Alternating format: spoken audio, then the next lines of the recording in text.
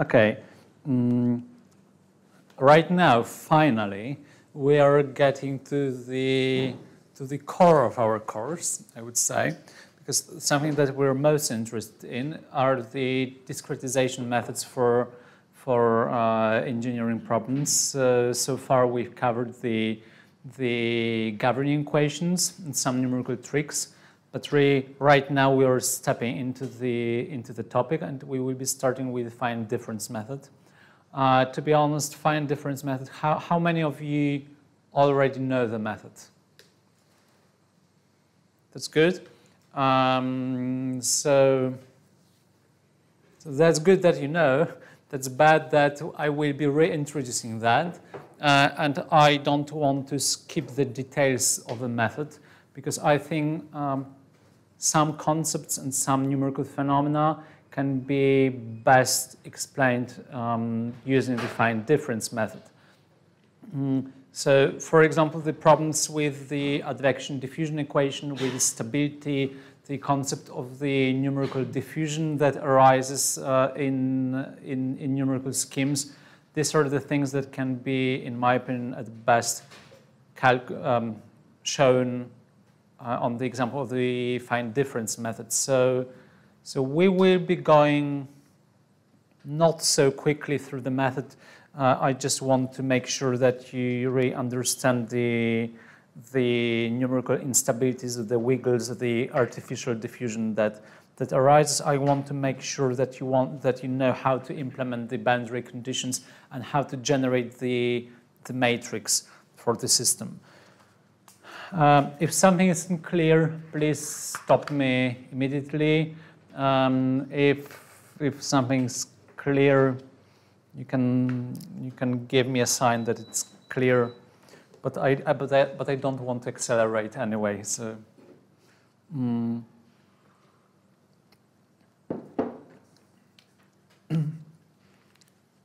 okay, so let's start with. Um, surprise, this, this won't be the Laplace equation. Uh, it will be something different. Uh, let's start with the advection diffusion equation as it represents most of the scalar transport problems. Okay, I've got it right now in my notes. Mm. Or maybe let's move to the Laplace equation or Poisson equation. Mm, obviously, if we, for a minute, or not for a minute, maybe for an hour, if we drop the convection term, then we're left with the uh, diffusion equation.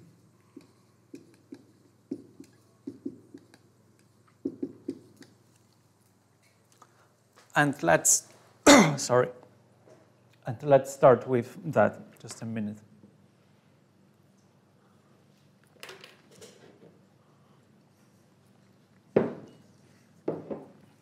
Mm, what, we, what we already know um, is that if we want to discretize such, uh, such a second derivative, we can do it with the finite difference method that we have partly introduced um, before break. So we can do it this way. E i minus 1 minus 2 uy is e i plus 1 divided by h squared equals fi and we need to have some boundary value problem that we're going to solve. And our boundary value problem let's assume is is um, is defined by this equation. Um, we've got the domain that extends from x equals 0 to x equals 1. one.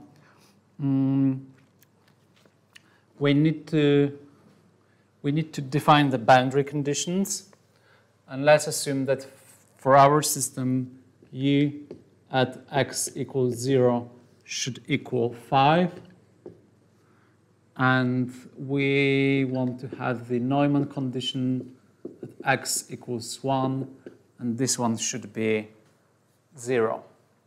Um, for, for a finite difference method, or basically for any discretization method, we first need to introduce the discretization of the domain.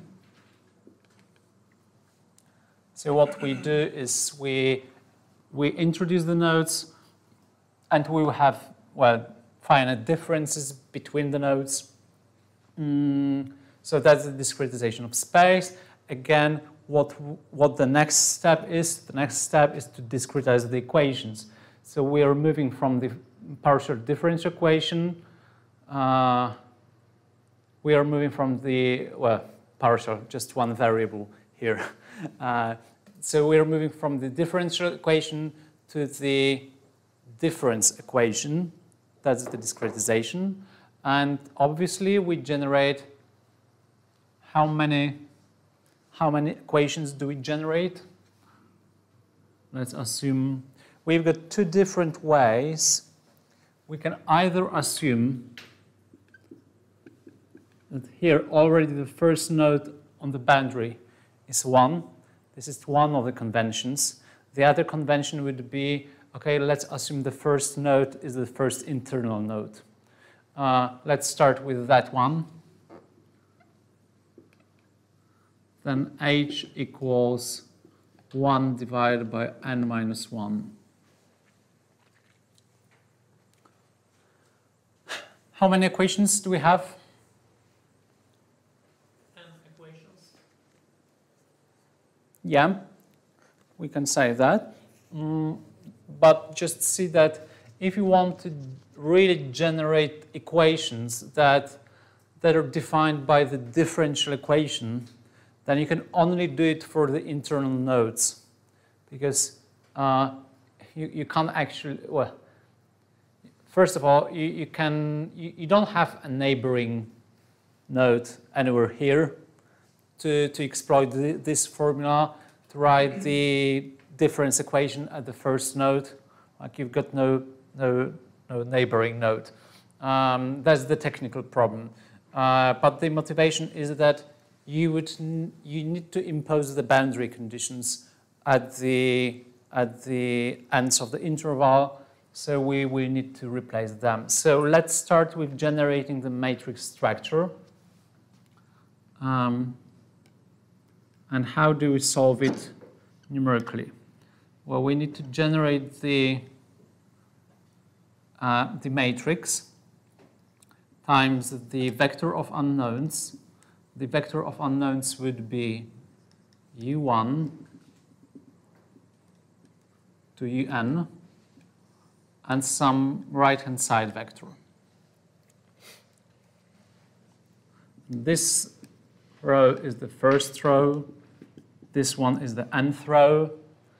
Uh, so as already said, let's start generating equations from the second node, uh, not from the first node. So, well, what happens is we've got minus minus ni divided by h square because this, uh, sorry, because this coefficient multiplies ui minus 1, then if we're, if we're um, assembling the equation for, for the second node, then what stands um, in front of ui? This is then plus 2 me over h square.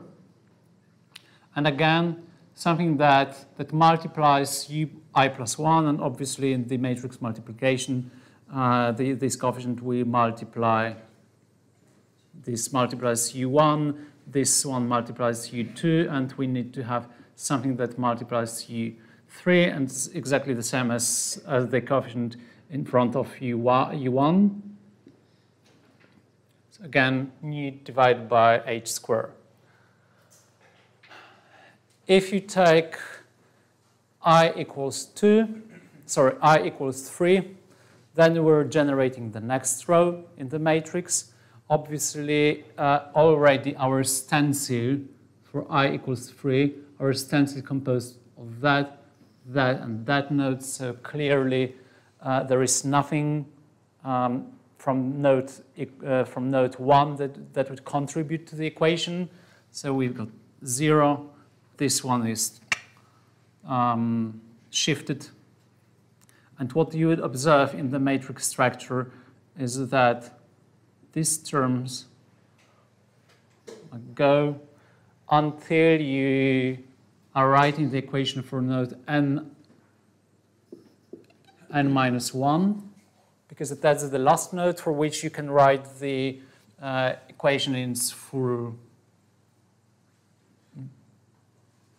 in its full form. Uh, so this one is again 2 ni h square here minus ni divided by h square sorry minus n divided by h square and we finally arrived at the last nth equation. What can we do to implement the boundary conditions? We should approximate uh, the derivative uh, at the point x equals 1 and uh, write uh, that numerical scheme uh, into the matrix and uh, in the point x equals 0 uh, we should just insert 1 uh, into the matrix at the point 1 1 yes and zeros to the other elements of that row and the value 5 uh, to the uh, right hand side. Yeah, so let's start with the first equation what we need to do is we already have a, an algebraic equation, so there is nothing to discretize. Uh, we just need to, to impose that boundary condition. So basically we need to introduce this equation to the matrix. And we see uh, u x at, uh, at x equals 0, so basically u1 hmm, u1 equals 5 and we need to introduce such an equation to our matrix. The easiest thing to do is to say, okay, so U1, U1 equals 5, and everywhere here we've got zeros, and this already satisfies our boundary condition. What we need to do here, as Adam said, we need to, we, we need to discretize that so what kind of finite difference we can use? We can only use the backward difference. Basically, we would write u n minus u n minus 1 divided by h equals 0 because we, we need to fulfill such a, such a Neumann condition. Obvious, obviously, we can also write simply that. And this translates to having coefficient equal to 1 here. 1. And here we've got minus 1. It's minus 1 equals 0. Uh, what I forgot, just a minute, what I forgot is when discretizing the equation, we need to we need to enter the um, the source values if we've got if we've got um, just function that would be zero everywhere, uh, then we've got zeros. If not, then we've got like f at x2, f at x3, etc. Uh, anyway, these are the known values that, that are well determined uh, because it's just the right-hand side, the source term. Question?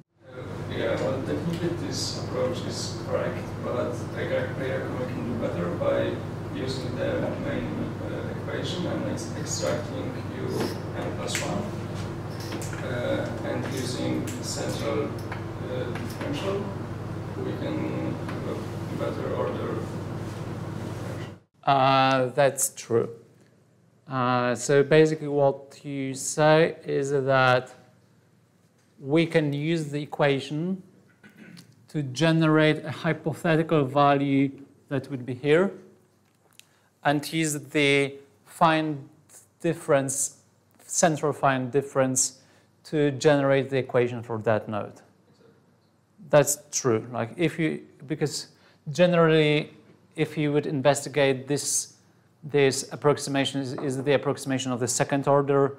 So basically, the whole method would be of second order. When I do something like this, applying the finite difference of the, the um, of the first order, then I'm actually lowering the order of the method to maybe not fully one, but something uh, mm, really lower than two, definitely.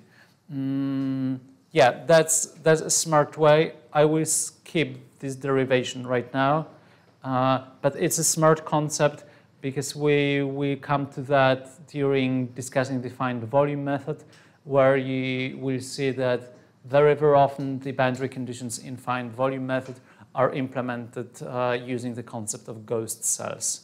So basically the cells that do not exist in, um, do not exist in the mesh, but are artificially added to, to mimic the presence of, of the solution on the other side of the boundary.